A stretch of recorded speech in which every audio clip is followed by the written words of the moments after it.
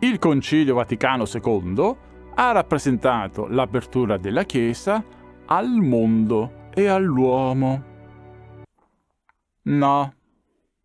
Il Concilio Vaticano II ha rappresentato il silenzio sulla dignità divina dell'uomo. Contraddizione. Ehi, scopriamone alcune. La resa religiosa dei preti al progresso del dopoguerra.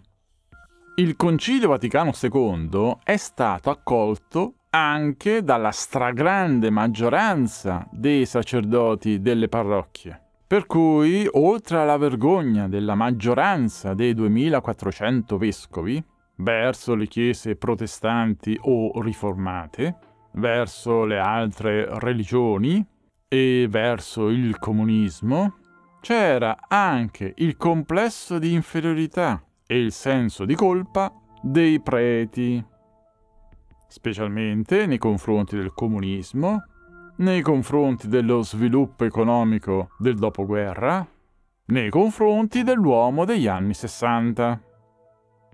Infatti, dopo la Seconda Guerra Mondiale, all'interno di un periodo di crescita economica ininterrotta e impetuosa a partire dal 1945 e quindi nell'illusione di un futuro di sviluppo quasi illimitato, la maggioranza dei vescovi e dei preti non ha più retto spiritualmente alla contrapposizione col mondo e hanno finito per dargli ragione.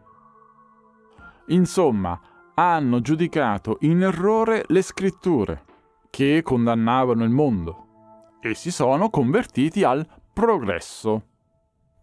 Per cui la Chiesa e il cristianesimo dovevano essere aggiornati rinnovati e cambiati. In questo modo hanno cominciato col rinnegare il mondo europeo, con la sua storia, il suo passato, in quanto, essendo stato influenzato per la maggior parte dal cattolicesimo, sarebbe stato più cattivo rispetto al mondo protestante. Perché, per esempio, avrebbe dato solo monarchie e dittature. Avrebbe dato ben due guerre mondiali. Avrebbe dato solo analfabetismo e povertà tecnologica. Avrebbe dato solo sfruttamento dai padroni. Invece, il mondo del progresso, specie quello anglo-statunitense, sarebbe stato quello buono. Perché, per esempio, aveva terminato la prima e la seconda guerra mondiale. Aveva sconfitto il male, ossia il nazismo. Aveva applicato la solidarietà alle popolazioni bisognose attraverso il piano Marshall. Aveva sostituito le monarchie e le dittature con le democrazie. Aveva avviato la decolonizzazione dei paesi del terzo mondo.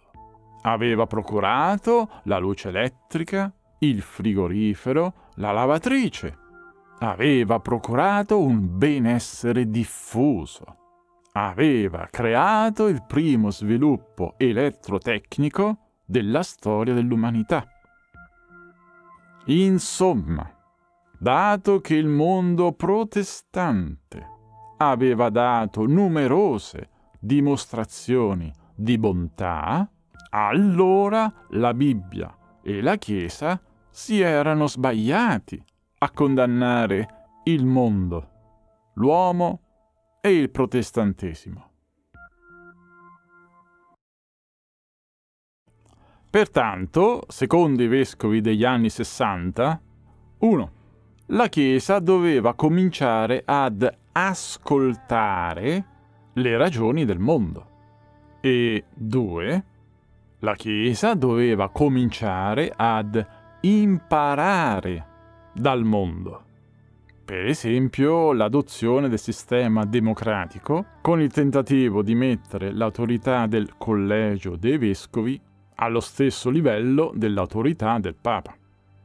Per non far fare troppo brutta figura alla Chiesa, i verbi imparare e ascoltare furono riassunti nel verbo dialogare.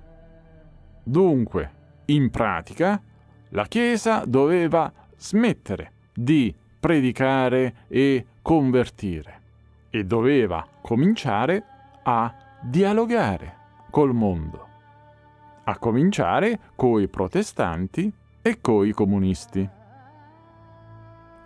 Pertanto, nelle parrocchie i preti dovevano rinunciare a proporre all'uomo la conversione a vivere secondo religione, perché forse il mondo poteva interpretarla come una colonizzazione culturale dal Vaticano II la conversione sarebbe dovuta partire solo dalla libertà del soggetto, senza alcuna proposta che potesse influenzarla.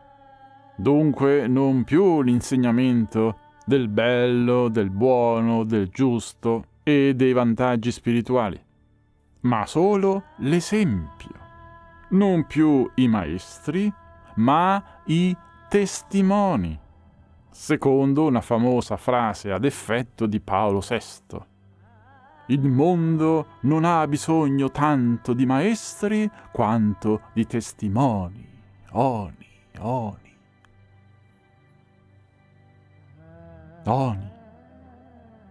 Questa è l'origine della scomparsa degli argomenti dell'essenziale della religione come la somiglianza divina dell'uomo, la prosecuzione della vita dopo la morte, il giudizio sul bene e sul male a valori assoluti, il paradiso, purgatorio, inferno, eccetera, eccetera, eccetera. Verso il mondo la Chiesa doveva passare dalla guida del mondo ad essere guidata poiché anche dal mondo poteva sviluppare la sua teologia. Per esempio, se da 40 anni, nel 1960, esisteva il comunismo e si era diffuso a livello mondiale, allora doveva esistere un buon motivo per tutto ciò. Il comunismo doveva essere buono da qualche parte. E se lo era, allora esisteva per volontà di Dio.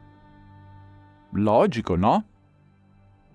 Certo, nel 1960, perché poi nel 1991 a Mosca, il primo maggio, c'era lo striscione 70 anni di marcia verso il nulla.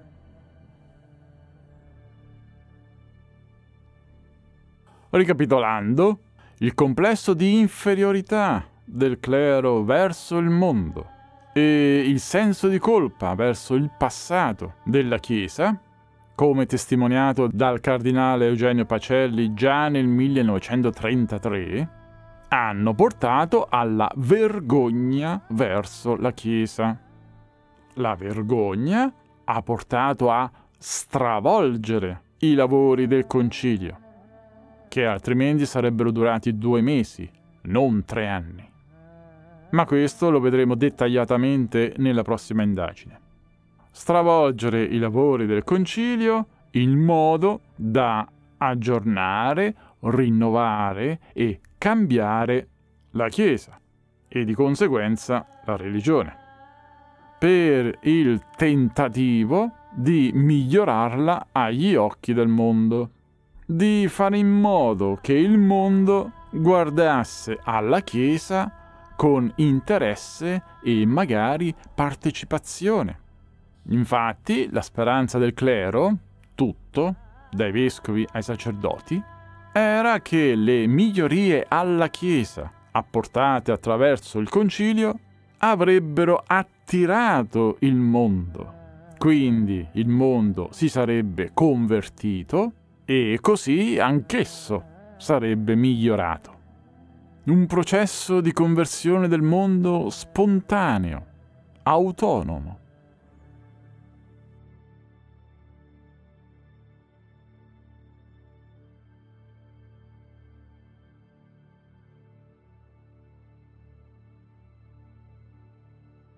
Oggi il risultato è l'insignificanza della religione e della Chiesa, perché banalmente o un'istituzione guida il mondo in qualche aspetto, oppure serve a niente. Infatti, qualunque entità guida il mondo.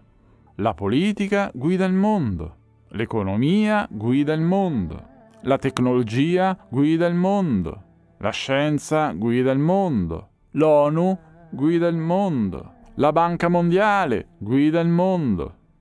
Solo la Chiesa non lo fa più. La Chiesa dialoga e ha imparato a ripetere la sapienza dell'uomo di mondo. Segui la coscienza, fai quello che ti senti di fare farai solo bene e andrai in par. Forse si può fare uno striscione analogo a quello di Mosca. 59 anni di concilio verso il mondo.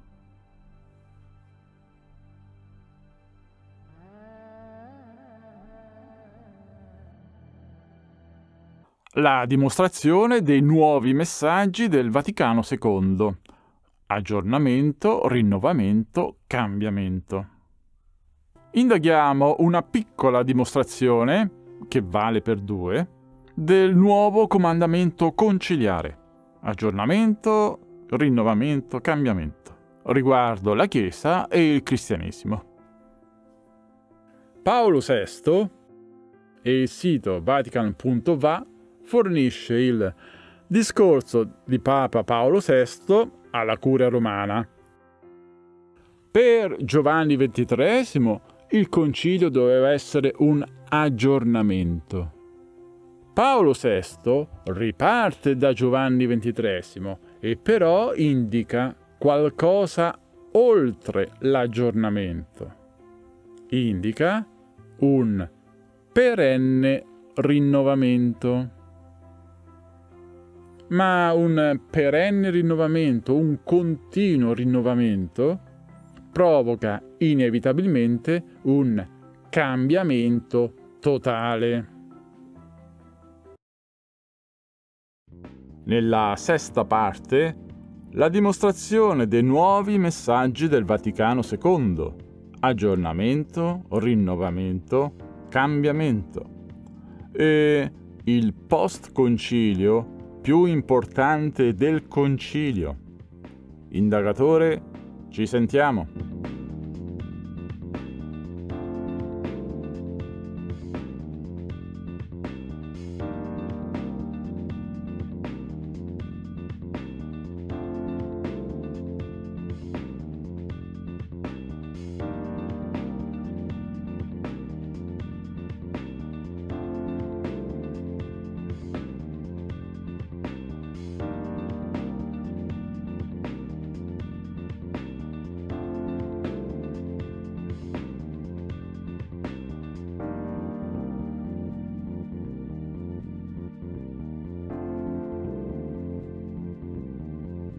E indagatore. Qua c'è il prossimo video.